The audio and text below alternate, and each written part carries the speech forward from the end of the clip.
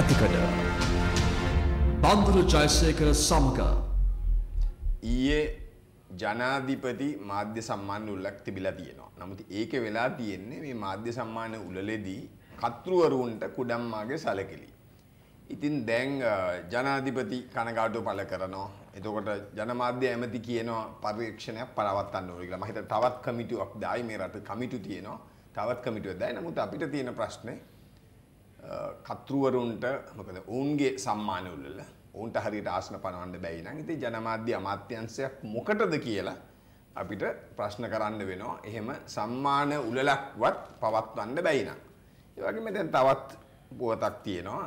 දැන් අද සිට 20 වෙනි දක්වා බීලා වාහන එලෙව්වොත් මාට්ටු. ඉතින් අපිට අහන්න තියෙන්නේ 20 වෙනිදාට පස්සේ බීලා එලවන්න පුළුවන්ද කියලා. මොකද මේ නීතිය ක්‍රියාත්මක කරන අවුරුදු කාලේ පමණක් නෙවෙයි මේක හැම වෙලේම ක්‍රියාත්මක වෙන්න ඕන.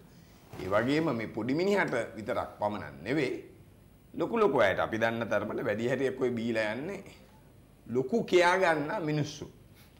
දෙවනුව මට තුන්වනුව මට කියන්න තියෙනවා දැන් ඔබ දන්නවාද මාධ්‍යවල තියෙනවා දැන් අපිට දැන් ජා මේ සරත් ෆොන්සේක මහත්මයාව නැත්තම් මම ආදරේ කවදත් කිරුවේ ජෙනරල් සරත් ෆොන්සේකට. මම ජෙනරල් සරත් ෆොන්සේක කියලා කියනවා. ජෙනරල් සරත් ෆොන්සේකට දැන් බාර දෙනවලු බාර දෙන්න හදනවලු අභ්‍යන්තර කටයුතු අමාත්‍යංශය. නමුත් මේකේ මේ මාධ්‍ය වාර්තා කියනකොටම අපිට තේරෙන්නේ අපිට අහන්න තියෙන්නේ ඇයි එක්සත් ජාතික පක්ෂේ ගෝඨාභය රාජපක්ෂට ඔච්චර බය කියලා. ඔහුව මෙල්ල කරන්න තමයි මේක දෙන්නේ. අපිට කමක් නැහැ කවුරු ආවත්. ගෝඨාභය රාජපක්ෂවත් සරත් වංශේ කවුරු ආවත්. මොකද අපි දන්නවා මේ අවස්ථාවේ හැටියට කවුරු නායකත්වයට පත් වුණත් සාමාන්‍ය ජනතාවට ගෙනම් ප්‍රශ්න විසඳිලා නැහැ. මොකද ඔවුන් සියලු දෙනාම එකතු වෙලා ජනතාව වෙනුවෙන් පිණිසින්න. කවුරුත් තමන්ගේ වාහනේ බාර දීලා නැහැ.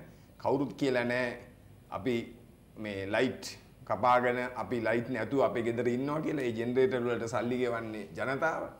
නමුත් අපිට අහන්න තියෙන්නේ ඇයි මෙච්චර බය කියන එකත් අපිට අහන්න තියෙනවා. අදත් අපි කතා කරන්නේ අපේ හිතවත් දැන් ආචාර්ය උපාධියකුත් තියෙනවා ආචාර්ය පට්ටමකුත් තියෙනවා ආචාර්ය විදුර රැළපනාව සමග ඔහු පරිසරවේදියෙක් ඒ වගේම විදුලි විශ්ලේෂකයෙක් මොකද මේක අපිට අවශ්‍යතාවය. විදුර ඇයි මේ ප්‍රශ්නේ ඇයි මේ ලයිට් කපන ඇයි ජනතාව මෙච්චර දුක් විඳින්නේ? බන්දුල ඒකට ප්‍රධානම හේතුව තමයි මම හිත දෙකක් එන්න ප්‍රධානම හේතුව තමයි අපි පහුගිය අවුරුදු 3-4 ඇතුළත විදුලි බලාගාර කිසි දෙයක් ගහලා නැහැ. එතකොට දැන් මේක ඇයි ගහලා නැත්තේ කවුද මේකට වග කියන්න ඕනි කියන ප්‍රශ්නේ අපිට උත්තර දෙන්න ඕනේ. මොකද ගහලා නැහැ කියන එක හරි ලේසි කියන්න.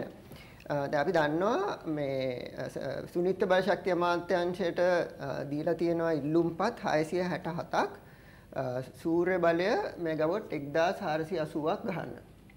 ඒකෙන් මිලියන 100ක් ඒගොල්ලන්ගෙන් රුපියල් මිලියන 100ක් සල්ලි අරන් තියෙනවා මේ මේ මේ මේ මේ අයදුම්පත් බාර ගන්න. නමුත් කිසිම දෙයක් කරේ නැහැ මේකට. මීට අමතරව ඉස්සර කාලේ තිබුණ ඔය සුළු පරිමාණයේ පුනර්ජනනීය බලශක්තිය ගන්න ක්‍රමවේදයක් NCRE කියලා. මේ ක්‍රමවේදය නැවැත්තුව CB එකෙන් 2016. එතකොට එතනින් හිර වුණා කුඩා ජල විදුලි බලාගාර මෙගාවොට් 150ක්. ඒ වගේම ඔය ග්ලිඩිසීඩියා වලින් හදන මෙගවොට් 80ක්. ඊට අමතරව තව තියෙනවා ඔය කුඩා ජල විදුලි බලාගාර මෙගවොට් 100ක මේ ඒගොල්ලන්ගේ givisuma අවසන් වෙලා. ඒතකොට ඒගොල්ලෝ කියලා තියෙනවා රුපියල් 7ක් විතර ප්‍රමාණයක් දෙන්න එක ඒකකයට ඒගොල්ලෝ මේක ආපහු කනෙක්ට් කරන්නම් කියලා.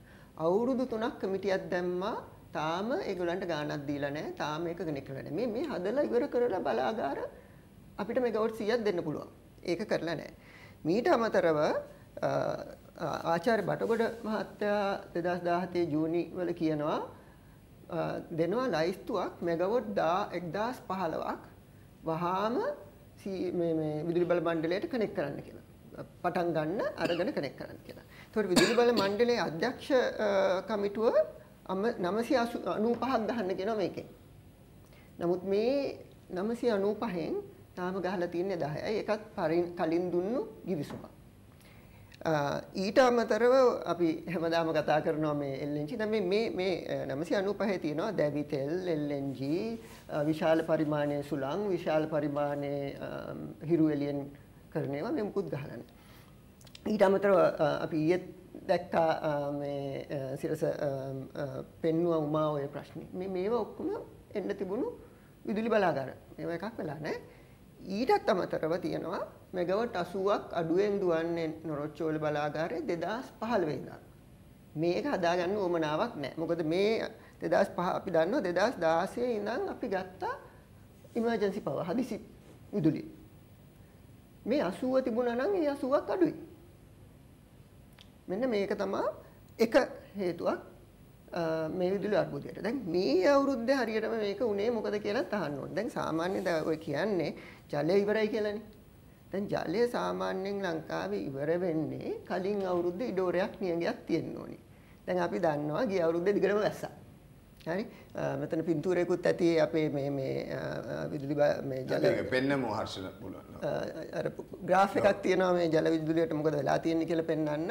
මේක එක දෙයක් කියන්න ඕනි ලංකා විදුලි බල මණ්ඩලය නීතියෙන් බැඳිලා ඉන්නවා හැම දවසකම ජෙනරේෂන් රිපෝට් එකක් දෙන්න මහජන උපයෝගිතා කොමිසමට. මේක 2018 අප්‍රේල් ඉඳන් දීලා නැහැ. ඒගොල්ලෝ දීම නතර කරලා තියෙනවා මේක නීති විරෝධී. ආ, ඒක හින්දා හුඟක් කට්ටිය දන්නේ නැහැ මොකද මේ වෙන්නේ කියලා. අපි දන්නවා 2019 පටන් ගන්නකොට ජල විදුලි 18 අග වෙනකොට ජල විදුලි බලාගාර හොඳට පෙරලා තිබුණා. ඇයි මේක ඉවර වුණේ මාත් වෙනකොට? දැන් සමාන විදුර දැන් කියන දැන් මහජන උපයෝගිතාකස මේ මිනිස්සු බයිනෝනේ මේක අපිට තේරෙන්නේ නැහැ. දැන් මේ රජයේ ආයතන දෙකක් රණ්ඩු වෙනවා. එතන එතනත් ප්‍රශ්නයක් තියෙනවානේ. ඔව් දැන් මෙහෙම දෙයක් කියන්න ඕනි. දැන් මහජන උපයෝගිතා කමිසම කියන්නේ මේ විදුලි ක්ෂේත්‍රයේ නියාමකයා. එතකොට අපි දන්නවා මේ මේ කොටස් වෙළඳ පොලේ තියෙනවා Securities and Exchange Commission නියාමකයෙක්. ඒගොල්ලෝ තමයි කියන්නේ මහ බැංකුවේ තියෙන ඔය මේ මේ ෆයිනෑන්ස් කම්පැනි නියාමනය කරන. ආයතන. ඒකේ වරදක් නැහැ කියන්නේ. නියාමනය තියෙන්න ඕනි. එතකොට නියාමනයට යටත් වුණු කට්ටිය නියාමන නියාමකයා කියන දේ කිරීම නීතියමය වශයෙන් බැඳී හිටිනවා. يعني විදුලි බල්ල මන්නේ මේක පිළිගන්නේ නැහැ. එතන ප්‍රශ්නයක් තියෙනවා. ඔත ඒක දැන් මට පුළුවන්ද පොලිසියෙන් නවත්තන්න කිව්වහම මම ඔය පොලිස් එකේ පොලිසියේ ඉන්න IGPට කැමති නැහැ කියලා නවත්තන්න නැතුව යන්න. මේක ග- මේ ගැටුමක් කියන්නේ දැන් අපි දෙන්න අතර ගැටුමක් තියෙන්න පුළුවන්. අපි දෙන්න ඔව්. හොඳට අඳුරනවා අපිට එහෙම ගැටුමක් නැහැ. නමුත් දැන් මට කියන්න බෑනේ පොලිසියේ ට්‍රැෆික් පොලිසියෙන් කවුරු හරි නවත්තන්න කිව්වම ඔයයි මයි ගැටුමක් කෙනෙක්ගේ ගැටුමක් නෙමෙයි. මම වැරද්දක් කරා නම් හරි මම දීපු ඩිරෙක්ෂන් ඒ දීපු අවවාදය පිළිපදින්න නැත්තම් මම වැරදි. දෙවුණත් දැන් මෙතන ජනතාව හාස්‍යයටපත් කර මම දැක්ක වාර්තාවක් ජනාධිපතිවරයා කියන හරි ඔය ඔයගොල්ලෝ ප්‍රශ්න විසඳගන්න මම කැබිනට් එකට එන්නේ කියලා. මේ මේ විහිළු? මේක විහිළුවක් තනිකරම විහිළුවක්. දැන් අපි කියනවා ස්වාධීන කොමිසම ඕන කියලා. මේ මහජන උපයෝගිතා කොමිසම කියන්නේ මුලින්ම හදව ස්වාධීන කොමිසමක්. එතකොට ස්වාධීන කියන්නේ කිසිම කෙනෙක් බලපෑම් කරන්න හොඳ නැහැ. එතකොට ජනාධිපති බලපෑම් කරත් වැරදි, ඉංජිනේරුවෝන්ගේ අ, සංගමය. සංගමය බලපෑම් කර ඒ කොහොමද බලපෑම් කරන්නේ? එතකොට ස්වාධීන නැහැනේ. මේ බොරුවන්නේ එහෙනම් මේ ස්වාධීන කොමිසම් කරලා කියලා. අනිවාර්යෙන්ම අනිවාර්යෙන්ම ඇමතිතුමත් ඕක කරනවා ජනාධිපතිතුමත් ඕක කරනවා ඇයි ඒගොල්ලන්ට අවශ්‍ය විදියට කරන්න දෙන්නේ නැති. මෙතන සමහර දැන් මේ දීසල් ගැනද අපි මේ සුමානෙම වගේ සාකච්ඡා කරා මෙතන කවුද මේ මුදල් හම්බ කරන්න යන්නේ? අපි විවෘතව කරා ඔබත් දැන් විවෘතව මුදල් මුදල් හම්බ කරන කට්ටිය නම් ගොඩක් ඉන්නවා. දැන් අපි අහන්න ඕනේ ඇයි 2016 ඉඳන් මේ හදිසි දැන් මේගොල්ලෝ කියනවානේ එක සැරයක් කියනවා හදිසි විදුලිය. දෙවෙනි සැරයක් කියනවා අතිරේක විදුලිය. ඉමර්ජන්සි සප්ලිමන්ටරි මේ සප්ලිමන්ටරි කියලා නමක් නෑ මේ විදුලි බල අම්, පනතේ මේ මේ එක එක අයට අවශ්‍ය අවශ්‍ය වෙලාවට නම් දාගෙන ගන්නවා. ඉතින් කවුද ගන්න කියලා නම් මම කියන්න දන්නේ නැහැ. නමුත් අපිට බොහොම පැහැදිලිව කියත හැකි. අපි පුනර්ජනනීය බලශක්ති ගහන එක සම්පූර්ණයෙන්ම නවත්තලා තියෙනවා. මම මම කිව්වා NCRE කියලා ටැරිෆ් එකක් තියෙනවා. ඕකෙන් තමයි ඇහුවේ. ඕක නවත්තලා තියෙනවා. ඒතකොට ඌවට දෙන්නේ රුපියල් 14 18 වගේ ගණන්. දැන් අපි දැක්කා කැබිනට් පේපර් එකේ දීලා තියෙනවා එමර්ජන්සි පවර් ගන්නේ 28ත් 30ත් අතර. හරි අපිට පුළුවන් අති විශාල ප්‍රමාණයක් දැනට තියෙන මම කිව්වේ මෙගවට් 3000ක ලයිස්තුවක් එතරම් තියෙනවා 2000 2500කට කිට්ටු වෙන්න පුනාජනනීය බලශක්තිය. ඕක ගහන්න තිබුණා මේ වෙලාව වෙනකොට. ඕක ගැහුවා නම් දැන් අපි කියවනේ දැන් ඇයි හයිඩ්‍රෝ එක ඉවර වුනේ? හේතු දෙකක් තියෙනවා. පළවෙනි හේතුව තමයි මේ දවල් කාලෙට වැඩිපුර ජලය වියදම් කරන්න ඕනේ බලශක්තිය නිපදවන්න. එතකොට අපිට සූර්ය බලශක්තියෙන් තිබුණා නම් ඒ දවල් කාලෙට නිකුත් කරන ජල ප්‍රමාණය අඩු කරගන්න පුළුවන්. නවත්තන්න බෑ. මොකද එහෙම තමයි හදලා තියෙන්නේ. අඩු කරගන්න පුළුවන්. ඒක එහෙම අඩු කරා නම් තාම වතුර තියෙනවා රැයට පාවිච්චි කරන්න. ඊට අමතරව වුණා නොරොච්චෝලේ බලාගාරය දැන් මේක නිතර කැඩෙන බලාගාරයක් කියලා අපි දන්නවනේ.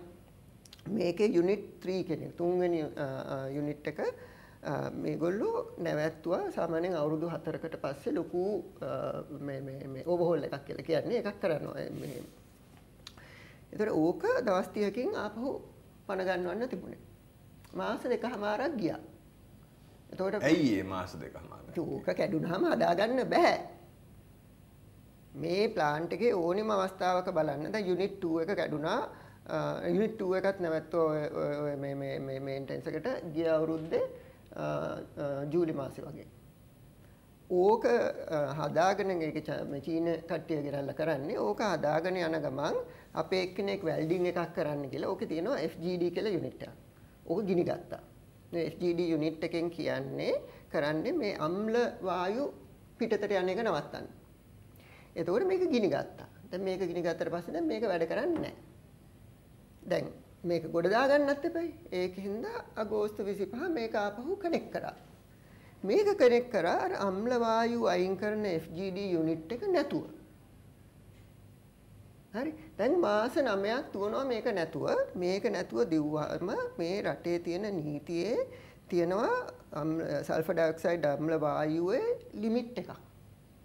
මේ ලිමිට් එක දීලා තියෙනවා පාරිසරික බලපත්‍රයේත්. නීතියෙත් තියෙනවා. මේක දැන් වයලේට් වෙනවා. ඒ කියන්නේ ඒව කරන්නේ දැන් මේගොල්ලෝ කඩාකප්පල් කිරීමක්ද කරන්නේ නැත්තම් මොකක්ද එතන? ඒකත් දැනගන්න කරගන්න බෑ. ඉතින් ඔය ඔය වෙල්ඩින් කරලා ස්පාර්ක් එකකින් ගිනි ගන්නවා කියන්නේ ඒකේ සාමාන්‍ය සේෆ්ටි ප්‍රිකෝෂන් නෑනේ. දැන් ඊට පස්සේ දැන් වෙලා තියෙන තත්ත්වය කියන්න ප්ලාන්ට් 1 එකේ පළවෙනි යුනිට් එකේ මේක තමයි මෙගවට 80ක් අඩුවෙන් දුවන්නේ. මේකේ තියෙනවා අර දූවිලි අයින් කරන ESP කියලා යුනිට් එක. ඒක කොටසක් කැඩුනා. මේ කොටස කැඩුනහම ඔය FGD එක දුවන්න බෑ. එතකොට මේ අවස්ථාවේ බලුවහම පළවෙනි යුනිට් එකයි දෙවෙනි යුනිට් එකයි දෙකම දුවන්නේ FGD නැතුව නීති විරෝධීව. එතකොට මේගොල්ලන්ට දැන් දැන් ඔය ඔය නීති සමයි නීති විරෝධී කිව්වා. ඒ කියන්නේ කරන්න බෑ. කරන්න බෑ.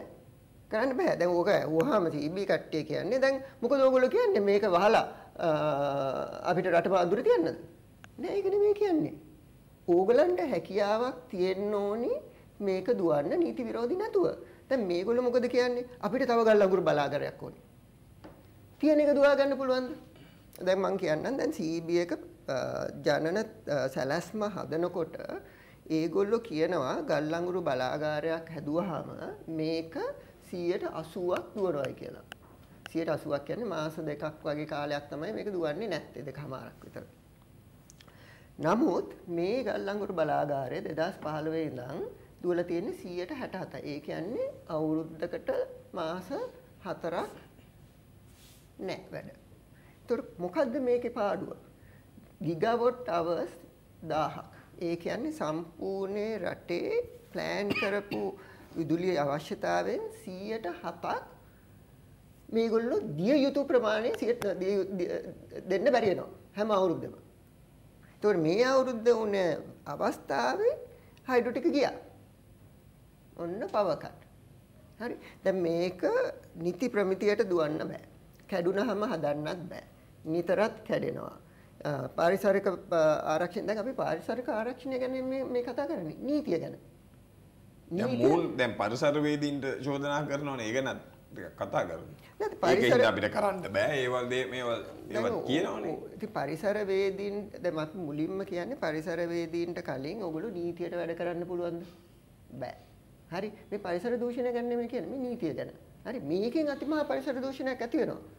මේක නීතියට අනුකූලව කරත් ලොකු පරිසර දූෂණයක් ඇති වෙනවා. ඒක තමයි නඩු දාලා තියෙන්නේ. ඔය සාම්පුර වලටත් නඩු දැම්මේ ඕකට. දැන් ඇයි අපි දැන් මම මෙහෙම එතකොට නමුත් මේගොල්ලෝ කියනවා මේක කරගන්නත් බෑ මේක කැඩෙනවා පරිසර නීතියට අනුකූලව දුවන්නත් බෑ. හැබැයි තව ඕනි. තව බලාගාර බලාගාර මේක කරගන්න බැරුව. දැන් කැබිනට් දැන් අපි අහන්නේ දැන් මේගොල්ලෝ මේ දැන් මෙච්චර කල් ගහන්න දුන්නේ නෑනේ ආණ්ඩුව. දැන් ඔන්න ඇමතිතුමා දාලා තිනවා තුනක්. තුනෙන් දෙකක් තියෙන්නේ නොරොච්චෝලේ. මේ මිනිස්සුන්ට ඉන්න බෑ.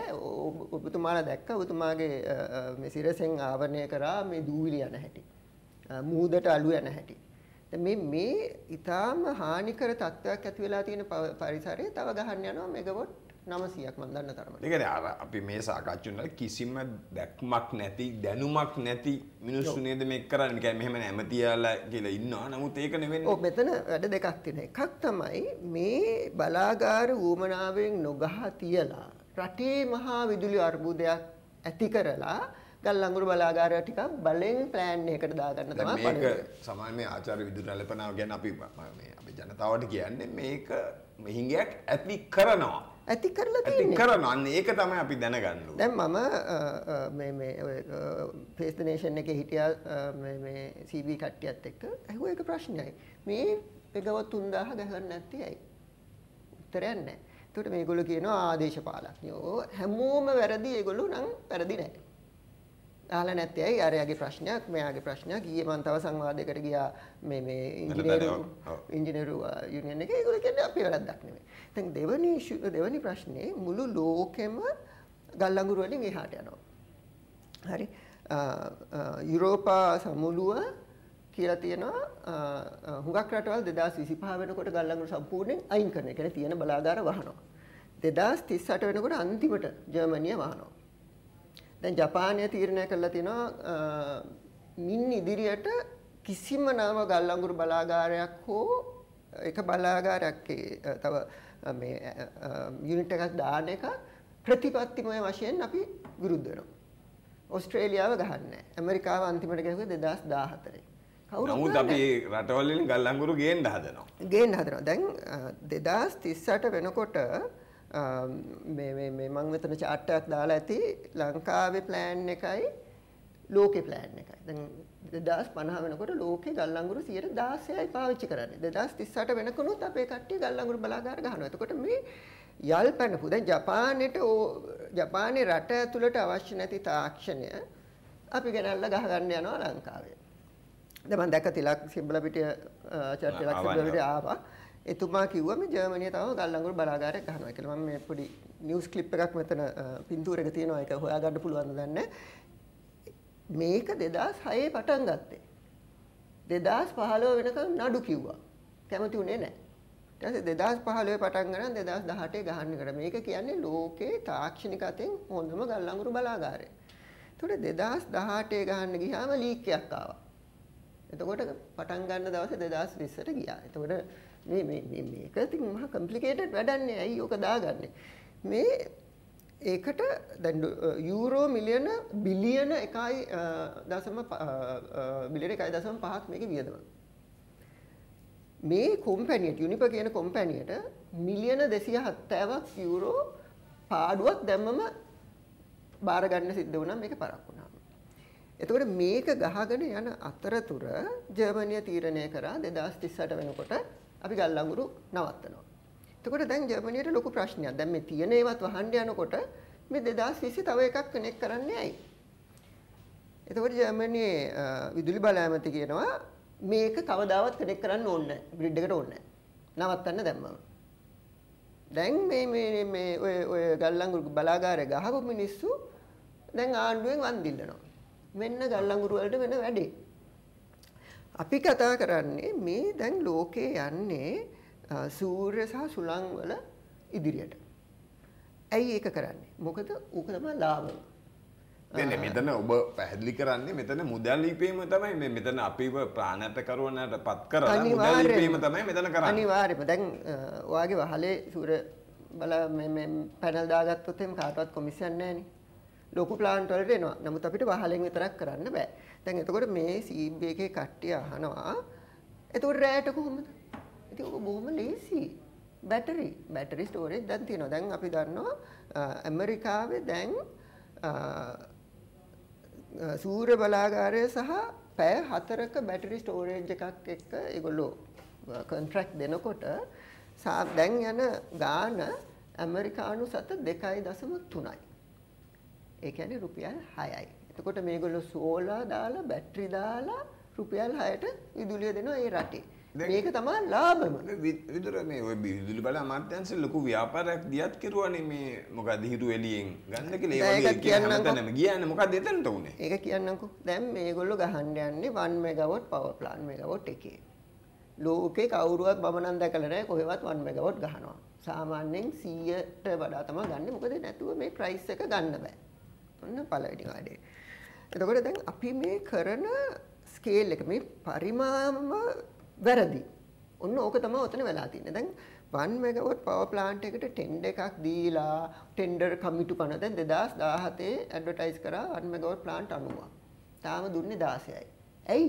මොකද මේ ටෙන්ඩර් ඉවැලුවේට් කරන ඇප්ලිකේෂන් 500ක් තියෙනවා.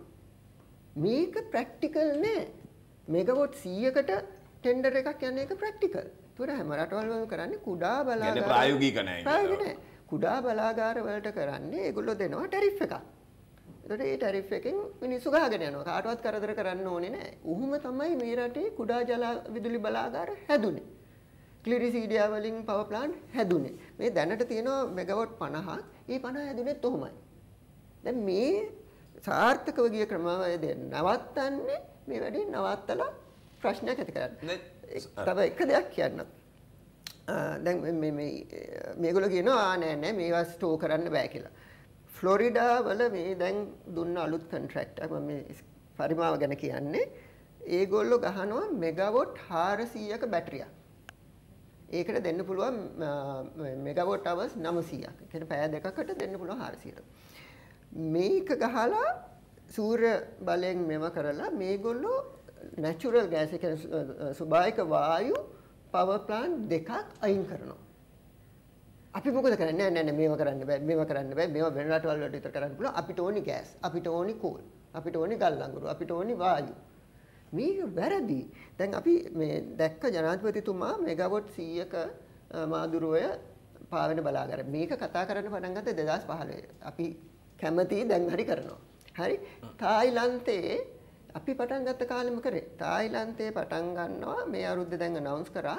ගිගවොට් 2.7ක් මෙගවොට් 2700ක් එකපාර ටෙන්ඩර් කරනවා මේ ජලාශ උඩ. අපිට පුළුවන් 100යි මේ මේකේ තියෙන්නේ ඔය ඔය සි- අ, විදුලි බල මණ්ඩලයේ මේගොල්ලන්ට තාක්ෂණය ගැන තියෙන්නේ බොහෝම පිටුපස බලන අදහස්. නැත්තම් මුදල් ඉපීම අදහසක් කියන්න පුළුවන්. ඔය දෙකම එක පැත්තට යන්නේ. දැන් මෙතන නෑ මම මෙහාන්ද ඔබ කිව්වනේ දැන් මේක ඇති කෙරුවා කියලා.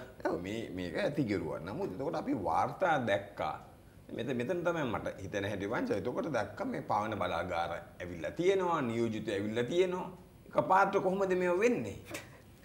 ඒක ගැන ටිකක් පැහැදිලි කරමු. ඒක ඔබ ඇති කෙරුවා කිව්ව එකපාරට වෙනවා මේ. ඕක හරියට කරනවා නම් ඕක 2015 කතා කර බලාගාරේ 2015 ටෙන්ඩර් කරන්න ඕනේ. ලෝක බැංකුව ඇවිල්ලා කිව්වා අපි උදව් කරන්න මේ ටෙන්ඩර් පටිපාටියට අපි මැනේජ් කරන්න. මොකද අපි දන්නවා දැන් ඔය එකට වෙලා තියෙන හරියට ටෙන්ඩර් එකක් කරගන්න බෑනේ. දැන් අපි දන්නවනේ ඔය 270 මෙගාවොට් එක. හරි මට ආචාර්ය බටගොඩ මහත්තයා පුද්ගලිකවම කියලා තියෙනවා කිව්වේ නොරොච්චෝල් ප්ලාන්ට් එක ඇතුලේ අපිට අර මේ මේ මේ මේගොල්ලෝ ගැහුවානේ අර සුළම් බාධකයක් වැරදියට ගැහුවානේ. මං එතුමාට කිව්වා මේ ඔයගොල්ලෝ වැරදි ඩිසයින් එකක් ගහන්නේ. මොරටුව විශ්වවිද්‍යාලයෙන් ස්ටඩි එකක් කරලා තිනවා මේ ඩිසයින් එක වැරදි වෙන ඩිසයින් එකක් දීලා තියෙනවා මේ ටෙන්ඩර් එකට ගෙවනවා මිලියන 900ක් මේක නවත්තලා ගහන්න අනිත් එක. එතුමා කිව්වේ බෑ. ඇයි බැරි? නෑ ඉතින් මේගොල්ලන්ට ටෙන්ඩර් එකක් කරගන්න බෑනේ මේකට අලුතෙන් ටෙන්ඩර් එකක් කරගත්තොත් එහෙම අවම වශයෙන් අවුරුදු කමාරක් යනවා මං එනේ ඉතින් බඩකොට ලේකම් වෙලා ඉඳලා වැඩකුත් නැහැ මං ඇහුවා ඇයි අවුරුදු එකමාරක් යන්නේ? නෑ මෙහෙමනේ. ඔක තාක්ෂණික කමුටුවක් දානවා. ඊට පස්සේ ඇපීල් යනවා. ඊට පස්සේ ඇපීල් බෝඩ් එකට යන්න ඕනේ. ඒක ඕක තමයි අපිට දකින්නේ.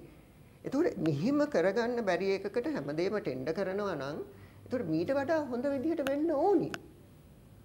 හරි? හැබැයි දැන් මේ ඔක්කොම ටෙන්ඩර් කරන්න ඕනි පුනාජනනීය බල ශක්ති දෙන්නේ නැහැ එහෙම නැත්තම් ඒ සැඹිලි පිටිය දුන්න ටෙන්ඩර් නැතුව නීති විරෝධීව කෝප් කමිටුවත් කිව්වා මේක නීති විරෝධී. දැන් මේ අලුතෙන් එමර්ජන්සි පවර් එකේ දීලා තිනවා ඒෂියා පවර් එකක්. මේකත් නීති විරෝධී. එතකොට මේ ටෙන්ඩර් නැතුව ගේන්න පුළුවන් ඉමර්ජන්සි පවර්, සප්ලිමන්ටරි පවර් ඔක්කොම ඩීසල් තෙල් ගහන පවර් විතරයි. එතන තමයි ඩීසල් වලින් සල්ලි හම්බ කරන්න පුළුවන්. ඉමර්ජන්සි එකෙන් තමයි ලොකුම සල්ලි හම්බ කරන්න පුළුවන්. ඒ වුණාට මේ මේ ජනතාවට කියන්න විදුර කියනවා දැන් ජනතා බයන දැන් මෙතන රුපියල් 30කට වගේ ගන්න ලොකු ගානකට. ඊට පස්සේ මේ බර පටවන්නේ ජනතාවටනේ. අනිවාර්යයෙන්ම ජනතාවට පටවනවා. දැන් මේ මේ දැන් දැන් දැන් අපි පැහැදිලිවම දන්නවා මුළු ලෝකයේ පිට රටින් ගල් අඟුරු ගෙනල්ලා බලාගාර ගහන රටවල් නැහැ. දැන් ගහනවා නම් ගහන්නේ තමන්ගේ රිද්දවල්. එහෙම තියෙන කට්ටියක් දැන් ඕස්ට්‍රේලියාව ඇමරිකාව වගේ ගහන්නේ නැහැ. ඇයි ගහන්නේ නැත්තේ? ඊට වඩා ලාභ දේවල් තියෙනවා. මොකක්ද ලාභ? සූර්ය බලය, විදුලි බලය. දැන් අපි සූර්ය ඔබතුමා කියවනේ සූර්ය බල සංග්‍රාමය. සූර්ය බල සංග්‍රාමය පටන් ගත්තේ 2016 අග. ලොකු ප්‍රචාරක වැඩසටහන් කරලා ලොකෝට පටන් ගත්තා. ඒකේ තියෙනවා මේ මිලියනයක් ගෙවල් වලට දෙනවයි කියලා හරි මම දන්න තරම තාම 500ක් විතර තමයි තියෙන්නේ. ඔය මිලියන කියන්නේ සෑහෙන දුරයි. දැන් ඔය කාලෙම පටන් ගත්තේ ඉන්දියාවේ සූර්ය බල සංග්‍රාමයක් සූර්ය සහ සුළං බලය. දැන් වෙනකොට මම දන්න තරමට ගිගවොට් 29ක් ගහලා තියෙනවා. අපි ගැහුවේ කීයද මෙගවොට් 200යි. ගිගවොට් 29යි. 2022 වෙනකොට ගහනවා සූර්ය බලයෙන් 100යි සුළං බලයෙන් 50යි ගිගවොට් මෙගවොට් නෙමෙයි. අපි ගහන්නේ මෙගවොට්. ඒගොල්ලෝ ගහන්නේ ගිගවොට්. ඒ ගැහුවාම සූර්ය බලයයි සුළං බලයයි රටේ විදුලි අවශ්‍යතාවයෙන් 122ක් දෙනවා. මොකද මේගොල්ලෝ කරන්නේ මේ සුළං සහ සූර්ය බලය අරගෙන ගල් අඟුරු බලාගාර වහනවා. ඇයි? ගල් අඟුරු බලාගාර වලට වඩා ලාභයි. මේ අපි මේ ඉන්දියාවට බලය විදුලි බලය දෙනවා කියපු රටක් නේද? ඔව් ඔව් එහෙම තමයි කිව්වේ. දැන් ඉන්දිය දැන් ඉලා තියෙන්නේ ඉන්දියාව ප්ලෑන් කරනවා හොඳට. ප්ලෑන් කරලා මේ ප්ලෑන් හරියටම ක්‍රියාත්මක කරනවා. අපි ප්ලෑන් කරනවා. විතරයි. අපි බලන්නේ මේ ප්ලෑන් එක ක්‍රියාත්මක කරන්න මොනවාද ඕනි. පුළුවන් තරම් පුනා ජනදීය බල ශක්ති වලට කකුල් මාට්ටු දාන්න එක තමයි කරන්නේ. එතකොට දැන් ඔය ඔය මේ මේ රූෆ්ටොප් ටැරිෆ් එක හදපු හැටි අපි දන්නවා. ඕක හදනකොට කමිටුවක් දැම්මා සුනිත බල ශක්තියම් ආයතනයයි ලංකා විදුලි වල මණ්ඩලයයි. එතකොට ඒගොල්ලෝ හැදුවා පොඩි සමීකරණයක්. මේ සමීකරණය දැම්මේ බොරු නම්බර. මේ දෙන ටැරිෆ් එක දෙන්න හර්ෂ වික්‍රමසිංහ මහත්තයා සුනිත බල ශක්තියේ try කරාම ඊට වඩා වැඩි ටැරිෆ් එකක් දෙන්න හැදුවේ. ඒ මහත්තයා කියනවා අනේ විදුර මට වුණ වැඩේ මේ කොමිටුවේ මට දේශද්‍රෝහිය කියලා බැන්න සීබී එකෙන්. අන්තිමට අජිත් පී පෙරේරා මැතිතුමා ඒ කාලේ නියෝජ්‍ය ඇමති ඇවිල්ලා කිව්වා නෑ නෑ මෙයා කරන්න වැඩේ කොහොමද දේශද්‍රෝහී වෙන්නේ මේ රටට හොඳක් කරන්නේ. මෙන්න විරෝධතාවය. දැන් ඒ වගේම දැන් අපි ඊයේ කිව්වා දැන් ඒ වගේම දැන් මේ නියෝජ්‍ය ඇමතිවර දවස් 52 ආණ්ඩුවට චෝදනාවර ඒකින්ද මේවා කරගන්න බැරි වුණා කියලා මොනවද මේ? දැන් මොනවද මේ කතා? දැන් හැබැයි දැන් ඔය අජිත් පෙරේරා මැතිතුමාගේ ලොකුම ප්‍රොජෙක්ට් එක තමයි මේ සූර්ය බල සංග්‍රාමය. ඕක පටන් ගත්තේ ජනාධිපතිතුමාගේ ගෙදරින්. ඒක ඉවර කරුවා නේද? දැන් දැන් අජිත් පෙරේරා මැතිතුමා කියනවා මෙන්න සූර්ය බල මාෆියක් එකක් ඉන්නවා කියලා. එතුමාගේ ප්ලෑන් එකේ නම්බර වලින් කොච්චර තියෙනවද ඇවිල්ලා කියලා අහන්නකෝ. ඉතින් විදුර ඔබට බොහොම ස්තුති මොකද ඔබට පුළුවන් විදිහට මේක ගැන මේ අපේ කාල වේලා නෝ පැහැදිලි කිරීමෙන් නමුත් අපිට කියන්න තියෙන ආචාර්ය විදුර එළපෙනාව කිව්වට අපි සමහර තාක්ෂණේ තේරෙන්නේ නැහැ. නමුත් අපිව ප්‍රාණ අපකරුව හැටියට මොවුන් අරගෙන මේ ඒක එකක්. අනිත් එක තමයි මේ හිඟයක් ඇති කෙරුවා. ඊට පස්සේ එක පාර්ටම නියෝජිත වෙනවා එක පාර්ට මේ ඉන්දියාවෙන් ලෙන්ඩත් පැය තුනමාරක් යනවනේ. එක පාට මේවා තියෙනවා බලාගාර. ඉතින් මෙතනින් ජනතාවට වටහා ගන්න පුළුවන්. ඉතින් අපි ජනතාවට කියන කරුණා කළා මේ අපි කතා කරන්නේ මොකද මේ පීඩනයක් ඇති කරන්න මේ මේ හොරුන්ට අපිව පාලනය කරන්න බෑ. ඉතින් මේ මෙතන අවසානයක් තියෙන්න ඕන. මම හෙට ගැන මතක් කිරීමක් කරා අපි සිකුරාදා අලුත් අවුරුද්ද සම්බන්ධ විශේෂ වැඩසටහන ගෙන ඒ වගේම සනුදා අපි මොකද අපි හෙට කතා කරන්නේ සිංහල ශ්‍රී ලංකාවේ සිංහලයන් කොහොමද ජාති මේ උත්සවය සමරන්නේ කියලා නමුත් සනුදා අපි දැන් මේක සිංහල දෙමළ නැත්නම් සිංහල මේ බෞද්ධ හින්දු කියලා කියනවනේ. අපි කතා කරන අපේ මේ දෙමළ සහෝදරවරුන් කොහොමද අවුරුද්ද සමරන්නේ කියලා. ඒ වගේම අඟහරුවාද අපි හෝටල් කර්මාන්තය ගැන වැඩසටහනක් ඔබට ඉදිරිපත් කරනවා. ඔබට සුබ දවසක්.